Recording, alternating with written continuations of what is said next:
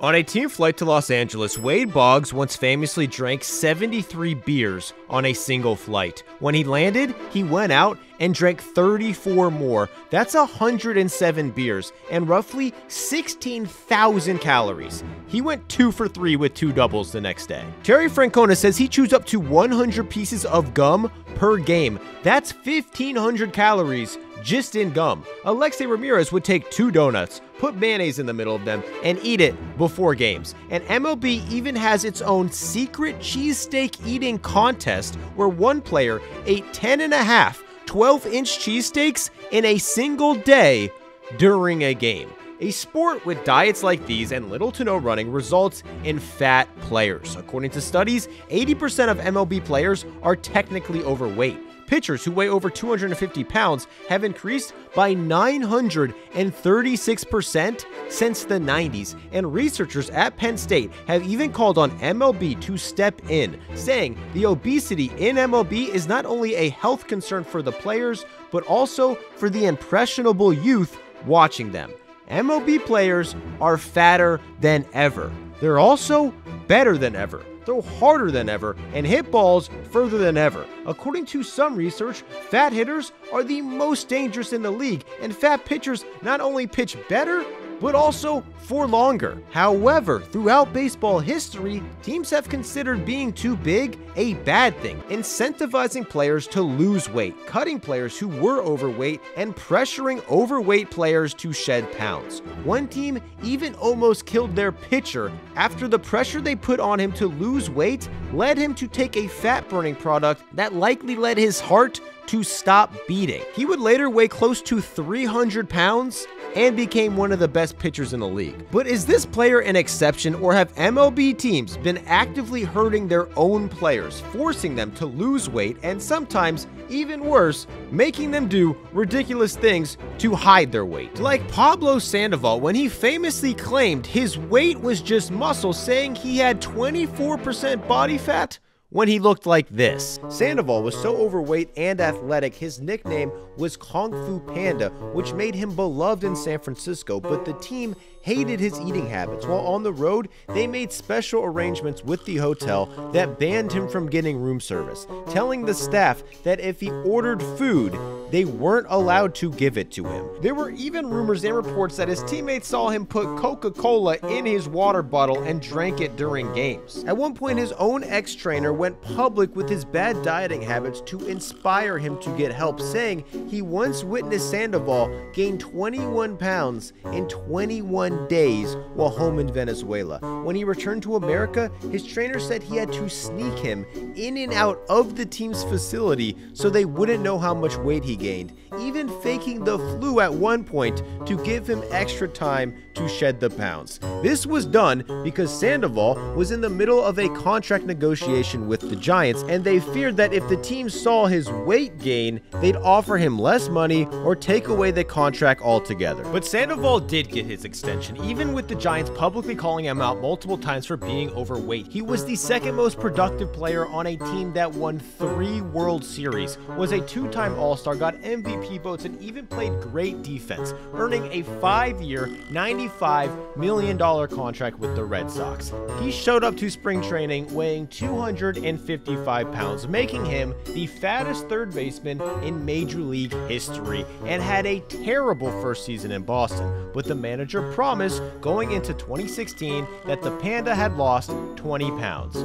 He showed up bigger than ever and admitted to the media that he hadn't weighed himself all offseason and said, quote, I did no work in the field nothing. He proceeded to make five errors in 11 games during spring training, got benched for a guy who made 37 times less money than him and only made one start all year. In that game, he swung so hard, his belt literally broke. He appeared in one more game after this, suffered a season ending injury, and that ended his time in Boston. Teams see players like Sandoval and conclude that weight is the issue, but data doesn't necessarily back that up. That season, 9 of the league's 10 best hitters were technically overweight, and only one of them weighed less than the average MLB player. If you take the best 20 offensive seasons in the past 10 years, only two of them were from players under 210 pounds. The average average of this group was 20 pounds heavier than the average MLB player. MLB's best hitters are consistently overweight, even compared to other MLB players, but teams still require many of their heaviest players to diet and exercise to keep their weight down, which has caused a lot of these fat players to get skinnier and then immediately suck at baseball. Like this guy, who was not only bigger than the Kung Fu Panda, his eating habits were so legendary, they started an underground cheesesteak eating contest in MLB. But before we get to that, a quick word from today's sponsor. This video is brought to you by Cook Unity, the meal delivery service that partners with real award-winning chefs to deliver restaurant quality meals directly to your door weekly. Cook Unity is as convenient as it gets. Just pick your favorites from hundreds of meals prepared each week. You can even put in your taste preferences and have Cook Unity pick for you. Then they will ship the meals directly to your door and can be prepared in as little as 5 minutes, saving you from having to do messy cooking mind numbing shopping, and annoying cleaning. You can choose from 4 to 16 meals a week. They start as low as $11 a meal and can be paused, skipped, or canceled anytime. Most importantly, these things actually taste amazing. Cook Unity just sent a delivery to my door, and I crushed one for breakfast, lunch, and dinner immediately. Right now, as I speak, I'm eating a Korean flank steak rice bowl from Chef Esther Choi, and with all the time I save shopping, cooking, and cleaning, I can continue to focus on important things like making this video. There are a ton of meal delivery services, but Cook Unity is the only one actually serving meals from the industry's leading culinary talent, and you can tell by the quality. To see for yourself, just go to cookunity.com slash baseball50 or click the link in the description and use my code baseball50 to get 50% off your first order of Cook Unity meals to try them out. Do it right now.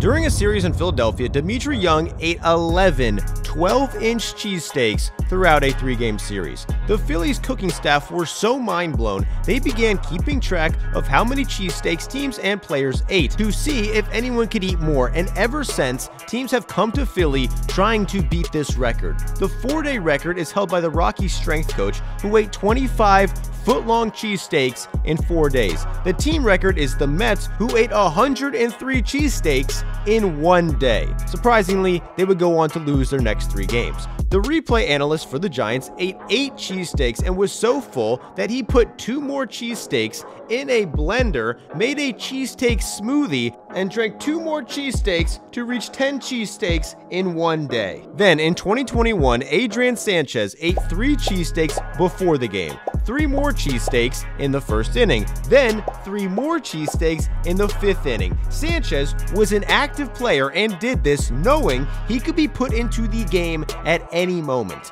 Luckily for him, he never was. He finished one more cheesesteak after the game, setting the single day record at 10 and a half cheesesteaks. Dmitri Young had no intentions of starting a contest. He ate 11 cheesesteaks without even thinking about it because he said, quote, I was just a fat which to him actually helped. After playing poorly enough to get cut by the Tigers, he shocked baseball by coming back the next year out of shape at 32, became an all-star, and batted 320 while he says he was close to 320 pounds. Sadly, this was the season that Young was diagnosed with diabetes. The weight loss and health issues that followed caused him to retire after just one more season, saying that anytime he lost weight, he felt like the ball had a parachute on it, and that is just basic physics. The more mass someone has, the more power. It shouldn't be surprising that a study done by Harvard found that being overweight doubles the likelihood that someone will be a great power hitter. It also found no evidence that weight gain had any negative impact on offensive numbers, but teams are still adamant players stay under certain weights. After having an amazing season in 2013 for the Dodgers, they offered Ronnie Belliard another contract with a clause that said during spring training he had to step on a scale and weigh under 210 pounds. If he could weigh in under 210 pounds, he would make $825,000. If he couldn't weigh under 210, he would make no money, his contract would be voided, and he was off the team. He lost the weight like the Dodgers asked, made 825 grand, then had the worst year of his career and retired. The Mariners sent Miguel Montero down for being 40 pounds overweight. This extra weight was such an issue, a scout who he had a pre-existing beef with once ordered an ice cream sandwich at the stadium and had it sent down to the dugout to Montero during a game. He then got out of the dugout, threatened the scout with a bet, and threw the ice cream sandwich back at the scout. But stats show that bigger players outperform other players significantly on offense. The last three seasons, players who weigh 240 or more have an OPS plus of 113, meaning they are 13% more productive than the average MLB hitter. However, this doesn't mean teams don't have to be cautious because the truth is, being big definitely doesn't help in the field. In 2011, the Kung Fu Panda somehow was the second best defensive third baseman in the league based on multiple metrics, including range. But after adding the weight in Boston, he was the worst third baseman in the league according to Defensive WAR. Dmitri Young was the best hitter on his team in 2007. But despite this, according to Baseball Reference, he wasn't even one of the top 12 most valuable players on his team because that's how much he cost them on defense. A guy like Miguel Cabrera came up as a 210 pound shortstop. By the time he was 30, he was 30 pounds heavier, helping him become one of the best hitters of his generation. At 210 pounds, he probably wouldn't have been able to hit the 44 home runs he did in his Triple Crown season, but being at 240, he was no longer an effective shortstop, was limited to third base, and by the time he retired at 267, he wasn't even able to play any defensive position and could only DH. So if a major league team let all their players gain 20 pounds over the offseason, they'd probably hit more homers and score more runs. But this added benefit would quickly be erased by their poor defense